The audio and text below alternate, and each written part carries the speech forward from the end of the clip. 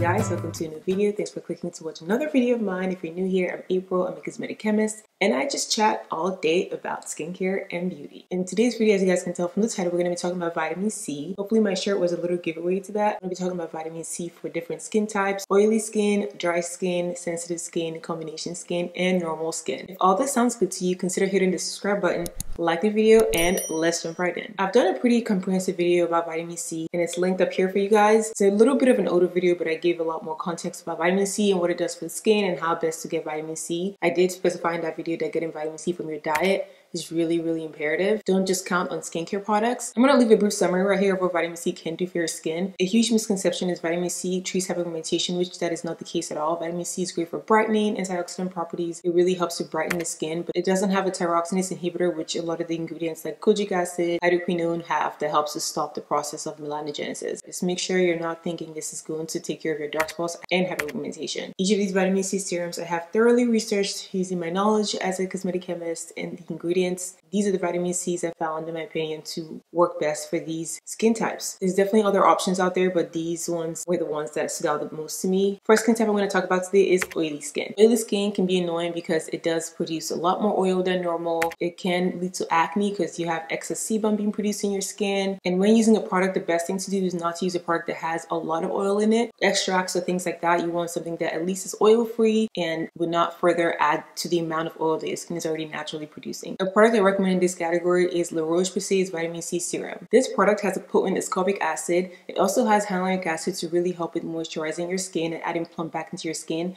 There's no oil, so it's not going to add any extra oils to your skin. It's non-comedogenic and it also has salicylic acid. And you guys know salicylic acid is a hero ingredient for oily skin because it goes into the pores and it clears up any clumps or clusters to prevent your skin from developing acne and just to really overall exfoliates and refines your skin tone and texture. And if you're wondering the dosage of this vitamin C, there's 10% ascorbic acid in this. Next skin type is dry skin. Now this skin type is characterized by dullness, dryness, and lack of elasticity, especially when you're older, especially in these winter months when your skin already gets more dry it is so imperative to keep your skin hydrated. Also, this skin type, because of its characteristics producing less sebum than normal, your skin barrier tends to get compromised because it gets really dry and potentially could let a lot of microorganisms that could potentially cause issues and irritation to your skin. The product I recommend for this category is CeraVe's 10% Vitamin C Serum. This product is lovely for dry skin because it has three ceramides, which I've talked about multiple times on this page. Ceramides are pretty much what holds your skin cells together, and without ceramides, microorganisms can get in and your skin skin suffers, which can lead to long-term or short-term irritation. Now, this product has three ceramides, which I've talked about many times on this page.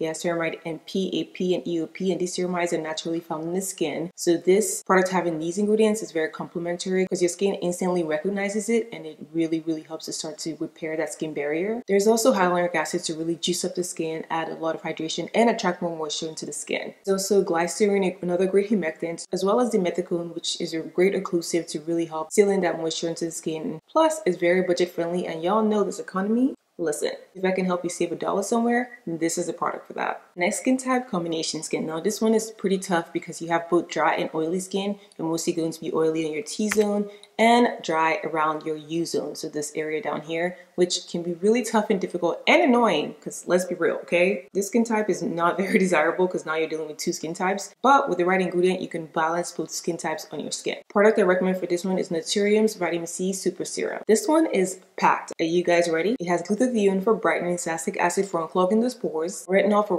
retexturizing your skin, especially those dry areas, niacinamide for oil control and for brightening hyperpigmentation, and hyaluronic acid to plump back the skin, especially those dry areas, and for the oily areas, salicylic acid like I mentioned earlier. So this product is really well balanced. It has all the ingredients that are really required for the two skin types that you have in your skin. I mean, the reviews we're reviewing, and from my perspective as a chemist, you can't go wrong. All right, sensitive skin. Now this one is a little tricky because I know this skin type can be pretty annoying to deal with because you can get contact irritation from a lot of products, so you have to be really careful. My logic behind this one is a product that was fragrance free, and for this one I recommend Maelove's 15 Glow Maker Vitamin C Serum. This one, like I said, is unscented. There's no fragrance because fragrances a lot of times can be allergens to the skin. It can cause a lot of irritation. So this one is unscented. It has potent L-ascorbic acids for this brightening effects. It has vitamin C, E, and ferulic acid. And one thing about ferulic acid and vitamin E, they really help to boost the antioxidant properties of the vitamin C. So this is a great one because it'll hydrate your skin as well as leave your skin with no irritation. There's a reason why it's popular and called